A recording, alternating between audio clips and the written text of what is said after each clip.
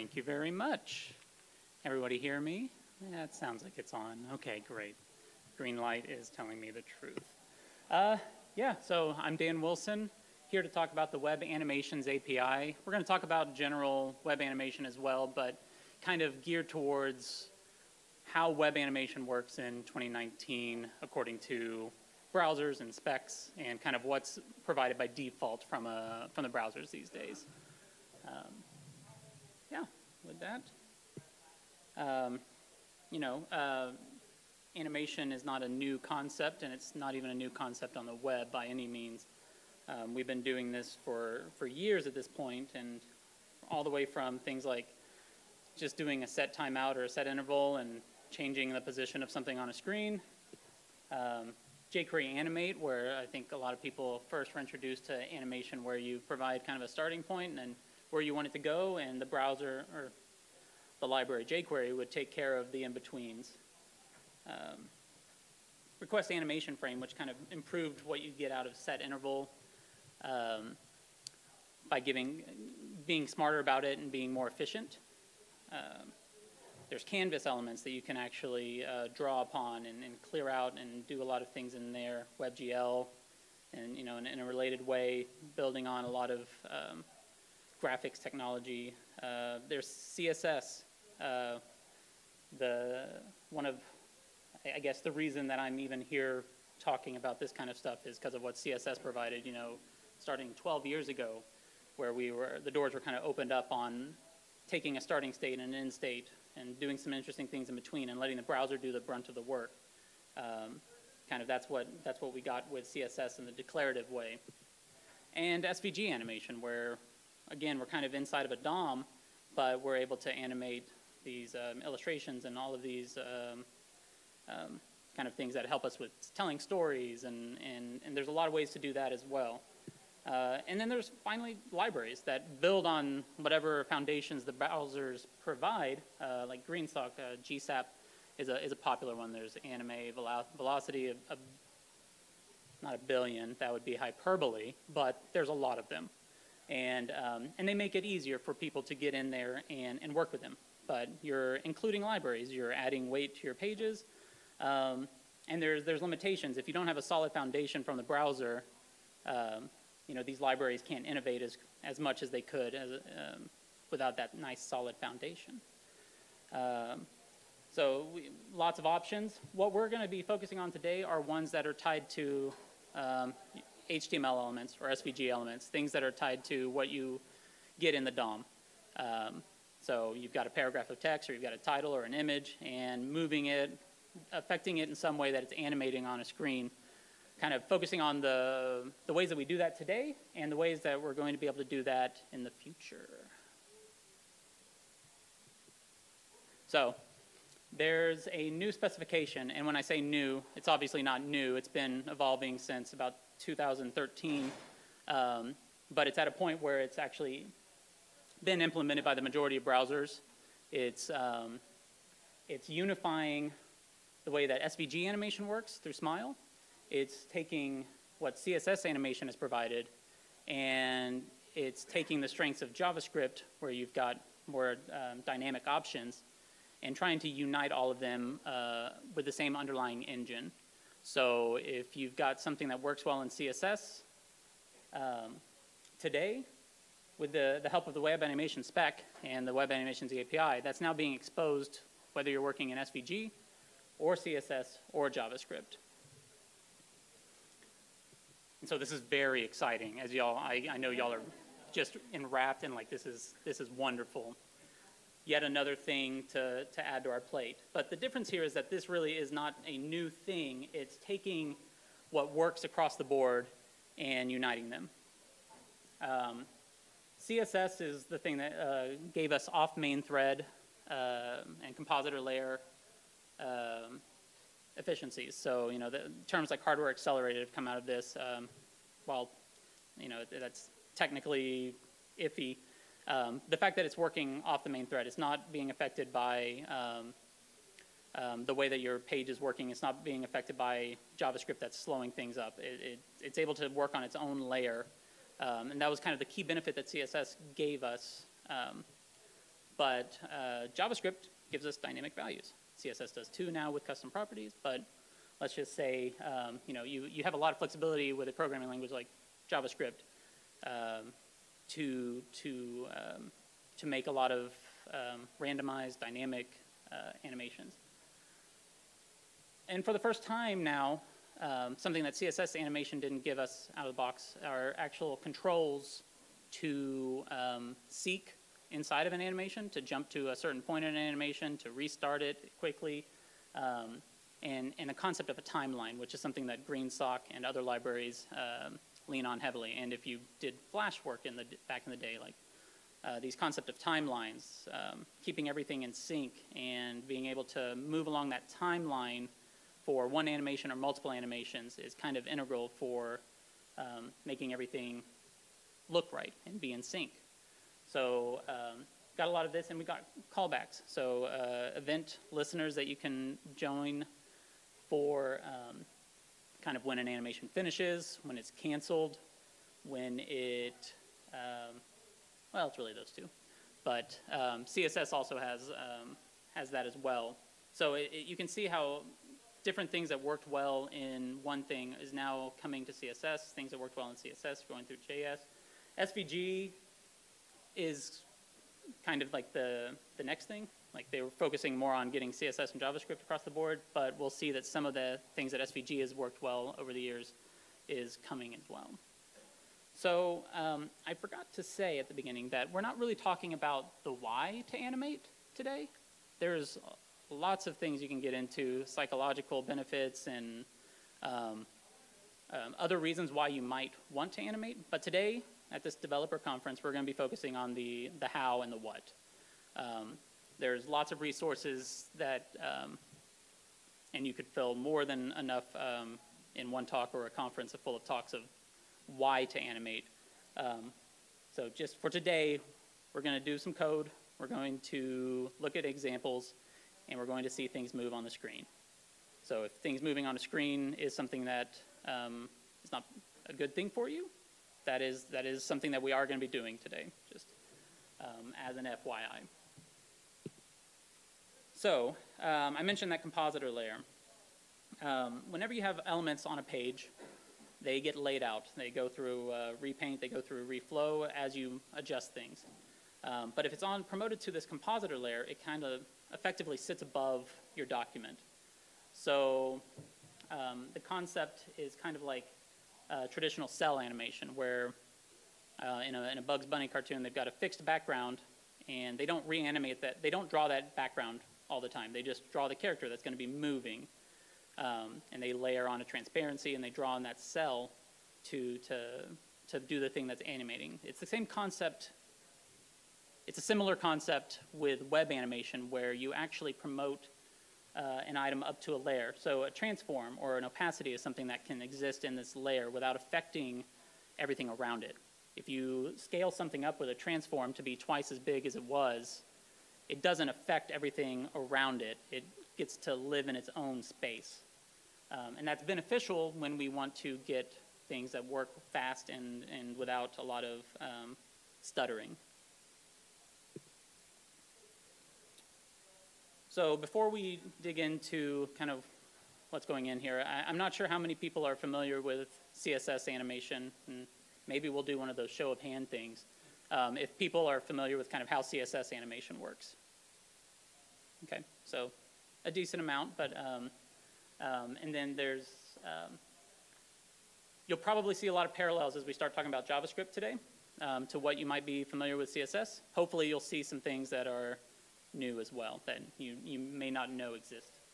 Um, but we'll, today we'll talk about um, especially this unifying platform with the JavaScript uh, API, that it's actually available today with the foundational uh, kind of core support in Firefox, in Chrome, in Opera, um, anything that's Blink based, um, like Chrome and Opera. Safari is very close in that it's been very close for a, a while. It's in tech preview. It's um, behind a flag. If you go into your um, iPhone or on, on, on a Mac, you can actually enable it, but it's off by default. Um, it will be one day promoted to full thing, but it's um, not sure when. Uh, and Edge, it's not an Edge, but Edge is going to be Blink soon, so it'll be there soon as well.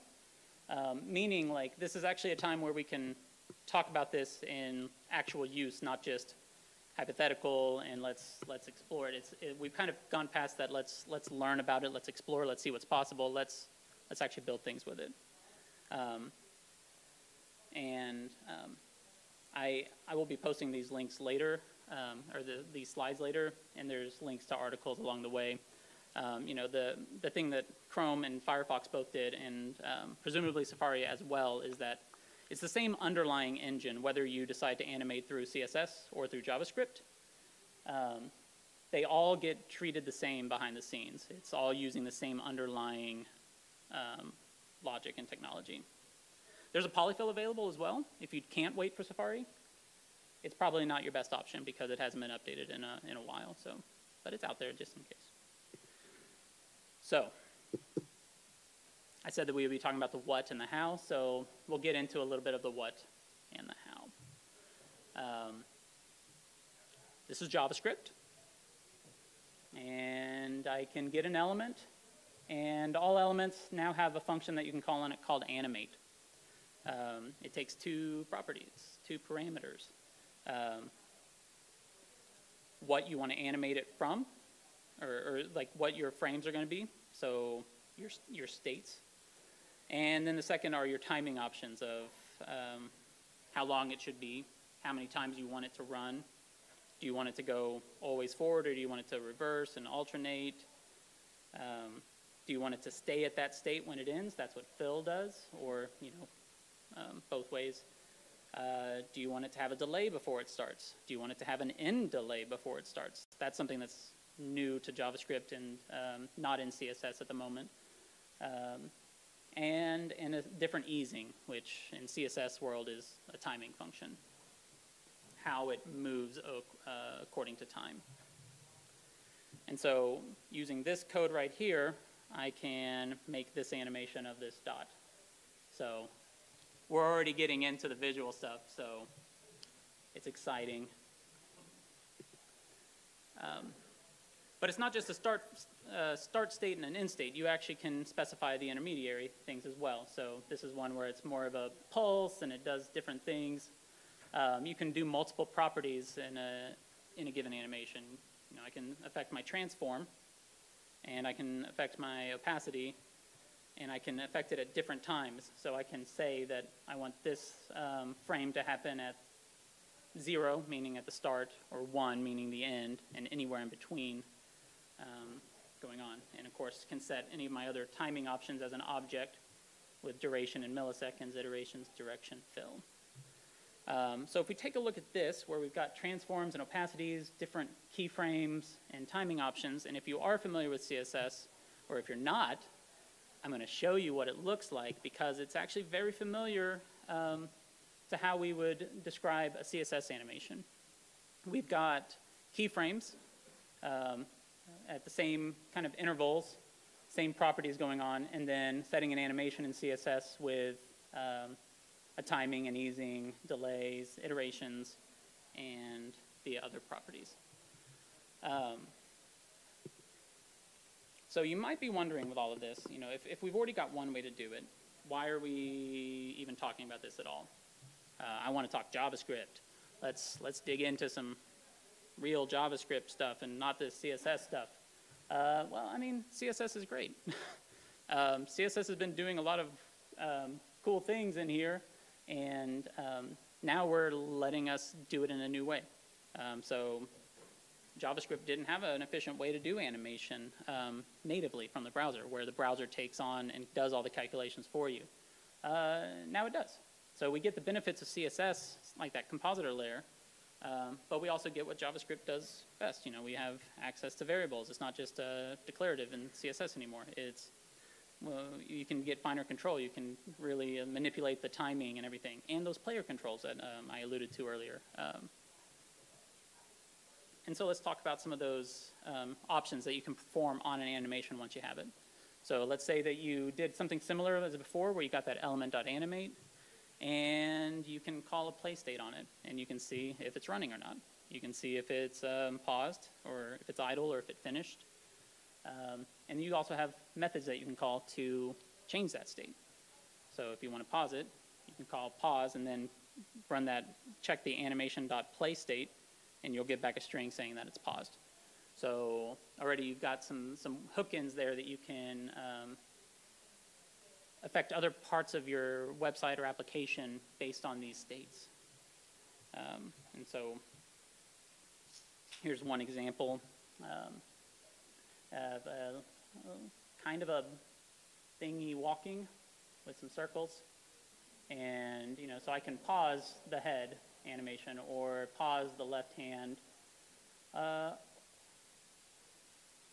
and I can uh, unpause and then, you know, it'll play back again. So we're easing into it, just some, some, some basic commands that you get access to. Um, there's a timeline that I mentioned. Um, there's this uh, property called current time that is read and write. So if you want to see how far along in your animation you are at any given point, you can call uh, animation.current or you can set it. So if you set it to 200, then you can jump to the 200 millisecond point in the animation. Um, so, you know, you, one example of what you can do with that is you've got these two animations down here that are not in sync, and I can press this button, capture the current time of the first one, set the current time of the second one, and all of a sudden they are now in sync without affecting that uh, initial animation. So um, randomize it again and then sync them together. And, um, you know, these are basic examples, but they're, we're laying a foundation of options that we have that we can build up to some more impressive kind of technologies or options as we deal with animation. Um, and there's lots of considerations about current time. It's the max value is kind of the delay plus the duration times the iterations plus the end delay if you've specified one. We've also got the concept of a playback rate. So it's no longer just, I want this animation to run 700 milliseconds. I can say I want it to run 700 milliseconds, but I want it to run twice as fast. So I can set playback rate equals 2, and it'll go twice as fast. I can set it to 0.25 and it'll go one-fourth the speed. Um, and so over here, I've got these buttons over here that's um, are effectively will make everything go twice as fast. So on that left hand, it's now going twice as fast as the right hand. Or now they're both going twice as fast as everything else. And when it's paused here on the head, I can change and seek. So that's showing the options with the current time on this slider, um, where I can jump around in the animation while it's paused.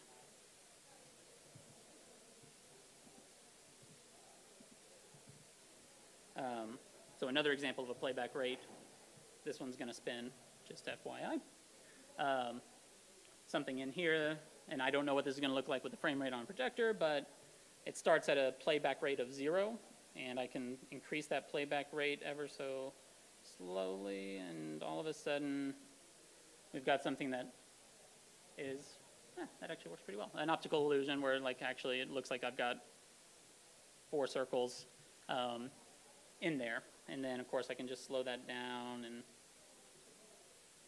and the playback rate is um, gives us a lot of power actually to to modify this. I've used that in games, and actually I'll show another example in a, in a second where um, as the game uh, progresses, you can imagine maybe something happens a little faster. It's a puzzle game and blocks fall a little faster in Tetris or something like that.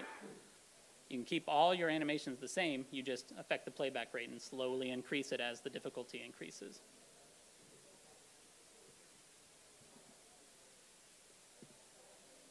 Um,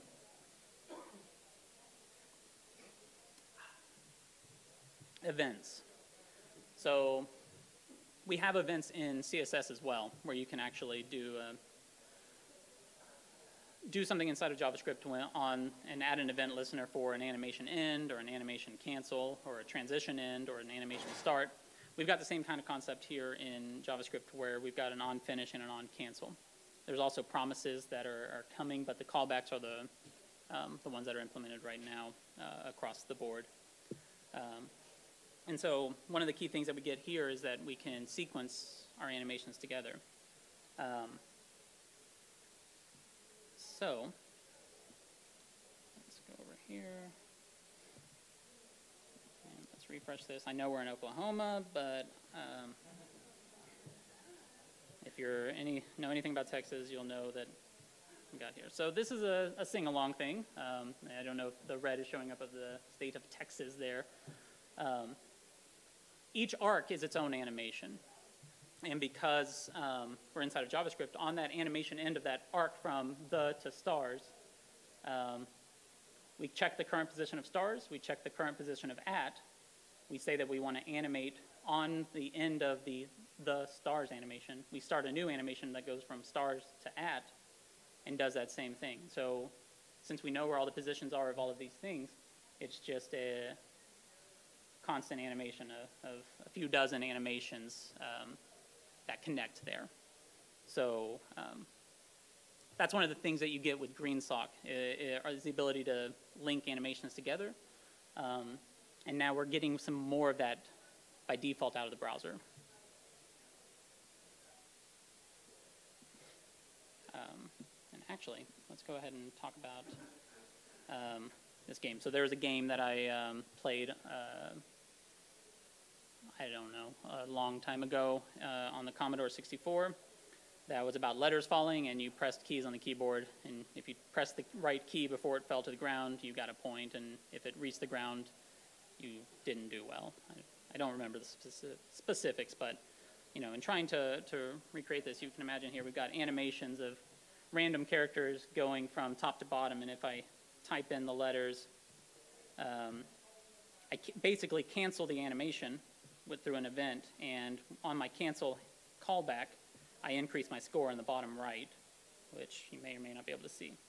Um, but if I let the animation go all the way to the bottom and finish, in the bottom left, which are my lives, I, I slowly lose them. And so I've got four, three, two, one.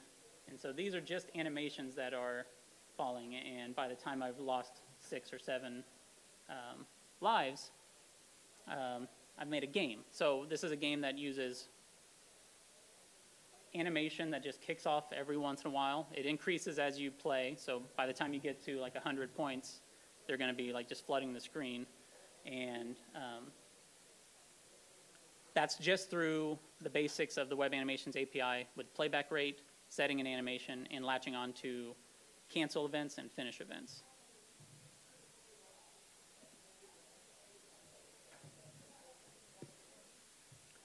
Um, and so as I was saying, this is like building, these are building blocks. And um, with, with a lot of the things that we just talked about, we can also increase the options we have for interacting with animation.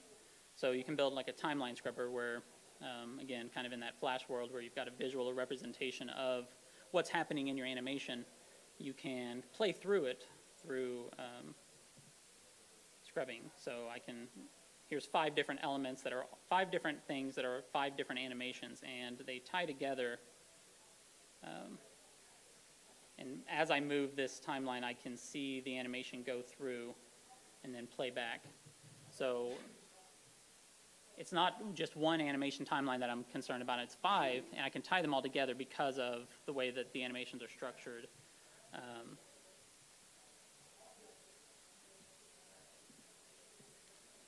Okay, so that's a large part of what's available today. And so the obvious question is like, well, what are the catches? Um, the native browser support, is, as we said, is still not 100%, um, but nothing really is ever 100%, um, at least not for some time. Um, there are some minor inconsistencies with CSS. Um, you can't do the same way that you style a keyframe. You can't use the same um, properties and keyframes, you can say 0% and 100% for the same set of rules. Here you have to be you have to duplicate them. So there's some minor differences there. And, and the biggest thing in my mind is that there's still a lot that's coming. Um, and the more exciting stuff is coming. Like this kind of gets us on the same page as CSS. gives us a little bit of extra power, but some of the more fun stuff is, is coming. What else is coming?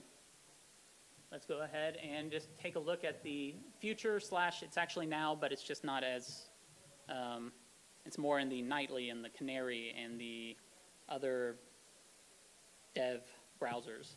Um, so there's this concept of getting all the animations. What we did earlier is I took an animation, I saved it to a variable, and then I started performing actions on that on that um, on that element, on that um, you know my variable that represented my um, element that I was animating. But if I don't actually store that to a variable, um, currently there's no way to act on it. But in Nightly and Canary versions, in Chrome, and all the other browsers that have this, and it's in Safari as well, there's a concept of get all animations. So you can call document.get all animations or get animations, and um, you can act on them. So here's a, here's one where we've got 250 animations powered by the Web Animations API. Fairly smooth considering it's uh, that many animations. Um, but I didn't save any of them off, but I can say pause all, call document get animations, iterate through them all, pause them, and similarly play them back. Um, so again, kind of a, a, little thing, but it's, it's, it's a nice um, thing that's going to be available to us. Um, motion path. This was the one that this was the one that got me into the Web Animations API in the first place. Was the concept that I could actually, instead of just move something from here to here in a straight line, the the promise of CSS motion path, where I can just have a path as defined in SVG or something, and animate along that path. Um, in practice, it's not been as useful as um, kind of perceived. You're very limited to pixels. Um, you can't kind of make it responsive, the, the path that you've got currently. But it is in Chrome. It's also in Firefox Nightly now. Um, and this gives us options like this. So I've got a blue element at the top of the screen that's going to come back down. And for visualization, I've also got the path drawing. But when we're talking about motion path, the path isn't going to actually be there. It's just this little blue item is following the path. I give it the vector definition of that path as you might find in SVG and um, tell it to go from 0% to 100% of that path. Um, I can change the path as it goes along too. So um, with that, it just keeps going. So this is what's really happening there is that path is going. And if we look at the, this is actually using a CSS animation, but again, it's um, um, the same thing here. So the animation is just saying, take it from offset distance 0 to 100%, and the browser does everything else. Um, this is one of those key areas where SVG was really strong in this, and now we can do it with any arbitrary element. Or we can do it inside of our SVGs through CSS or through the Web Animations API in JavaScript.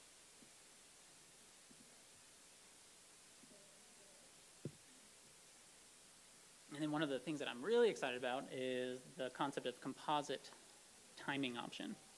So lots of CSS um, properties take multiple values, like transform. Um, transform you can call scale, translate, rotate, lots of other options. And um, you can also do a list of them. So you can say scale and rotate. Um, and then if you try and do a second animation on that or some other state, it's going to overwrite it because it's CSS and you set a new value, it's just going to overwrite what was there. But with the composite property, it's actually saying, okay, I started with a scale and a rotate, and then when I say I want to do an animation of um, a different scale, um, I'm just going to add that on to the existing list. This is in Firefox Nightly, Chrome Canary, Safari Tech Preview. It hasn't landed in the, the true browser, or the, the non-dev browsers yet. Um, and this is also one of those things where this is coming to the Web Animations API first, meaning the JavaScript portion, but there's also talk about getting it into CSS. You know, one of the options they were saying is kind of like we have um, exclamation point important, and yes, I just said exclamation point.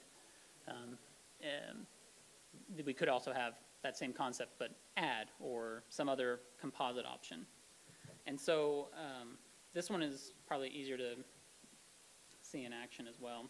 Oh, well, I've already done it there. Let's refresh that page and see if that works. Okay. So I've got a star, nothing happening on it. And then I have this button that says add random transformation. So this is going to do an animation, a random animation. And this one's a rotate Z of 0 degrees to 308 degrees.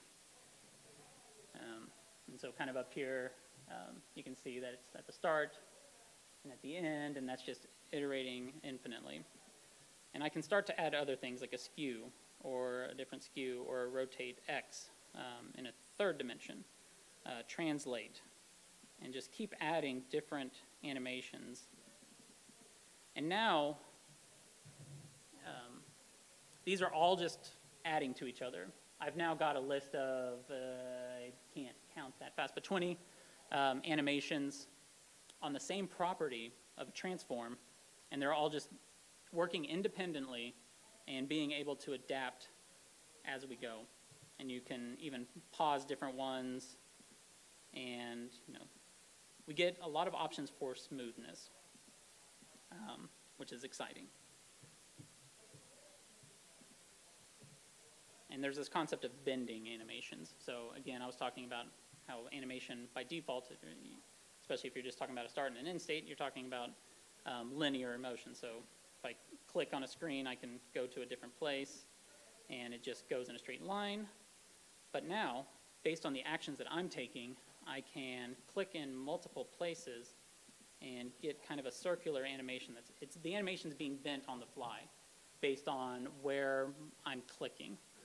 Whereas in the past, this would be very much a, okay, I'm animating to here. Oh, they click somewhere else. Okay, well now I just got to go in a straight line there. But because we're adding different functionality, um, adding different transforms on the fly, they just kind of bend in the way that they're going into a nice smooth curve. So there's a lot of possibilities in this realm. Um, and so it's going to be exciting to see these be promoted up to the full browsers.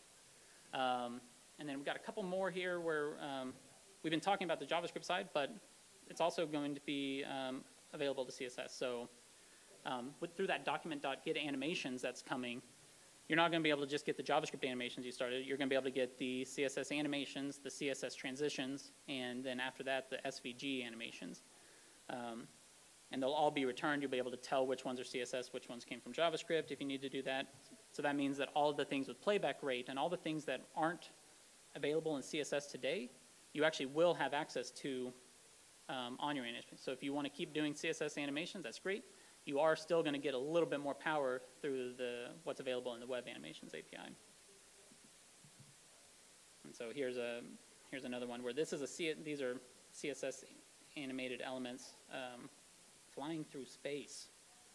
Um, and again, now I have my playback rate, which um, all I'm doing here is I'm taking a CSS animation that's defined in one way and changing the playback rate here at the bottom to go a little slower.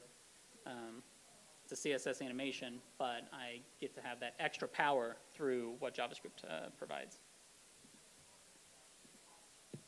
And then there's Houdini, which if you haven't heard about Houdini is one of those things that's kind of a mix between CSS and JavaScript in that a lot of it is implemented through JavaScript to augment what's available in CSS.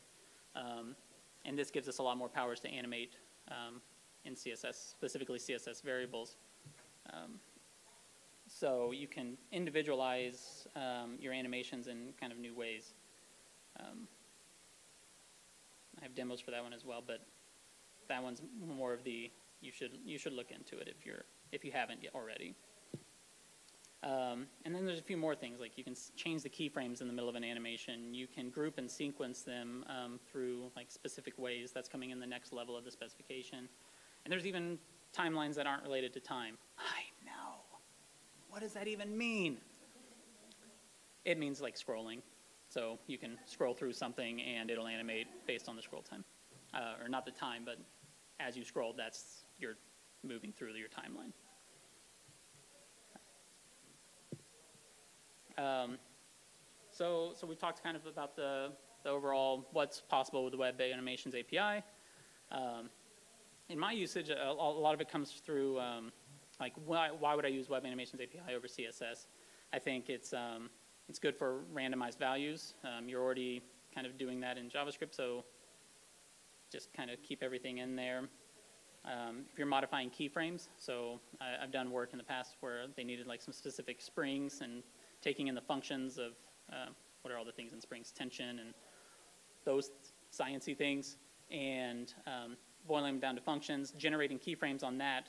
Um, my first iteration like generated a bunch of CSS keyframes and then pushed that, but with the Web Animations API, just take those values that those functions returned and kick off an animation directly in, um, in, the, in the API. Uh, if you're already using CSS animation and you're toggling a lot of classes today, then maybe you just do it in, um, in JavaScript. Um, if you're needing to sequence things, especially more than a few things, um, like with that uh, sing-along, that's a lot of things to tie together if you want to make sure that they stay consistent and um, changing one value doesn't break all the other ones, JavaScript might be a better way. And if you're already integrating with JS frameworks, like they often have hooks into different things like um, the different transition events in Vue and, and other things in React. Um, you know, you're already there. This is also available to you. Um, so, you know, we, we talked a lot, and so uh, have we finally done it? Have we given everything we need for animation? And I think we all know the answer is, um, is no. Like, this is very foundational stuff. It, we had awesome stuff with um, JavaScript letting us move things back in the day, and we had a lot of power with CSS to make things a little bit more performance-based and um, declarative. And now we've got a few more powers built on top of that. Um, hopefully this means that libraries like Greensock can continue to innovate and push further. A lot of the things that have landed in here like, came from libraries like that. Um, just like we have document.query selector because of jQuery. Like, as these other libraries build things, they get funneled back down to the browser, and that's good because that allows them, that frees them up to do more, and that gives more power to individual users to choose whether they want to use libraries or um, do things in JS or CSS or SVG, and do it in a way that's more consistent than has been in the past. So if you want to know more, there's um, MDN, of course, um, um, headed up originally by the, the efforts of Rachel Nabors.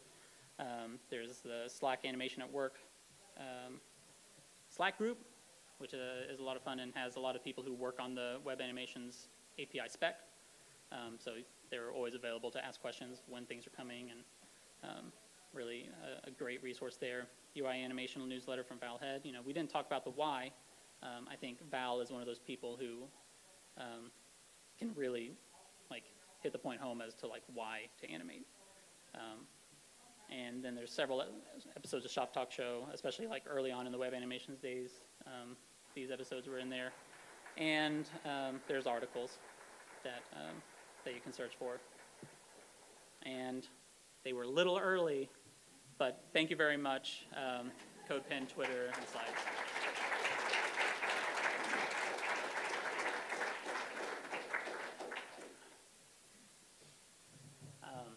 I think we have a couple minutes, so I will go ahead and open the floor up um, to a question or two, if there are any. And there's also, it's also fine if there's not. Yes?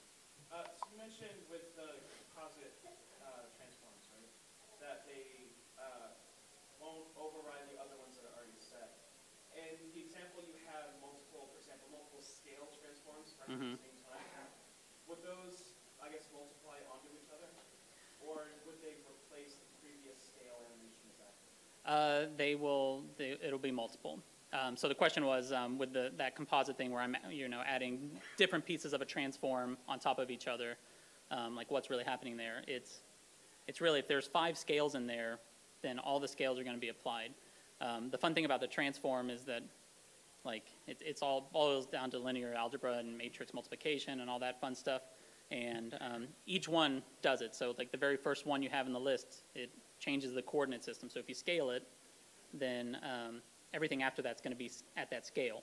And then if you scale again, then you just kind of compounded that. And if you add the rotation, then everything after that's going to also have that rotation. And um, yeah, so it, it's if you have 30 scales in a row, it'll do whatever that math ends up being. Yeah. Okay. Well, thank you again, and enjoy the rest of your day here at ThunderPlains.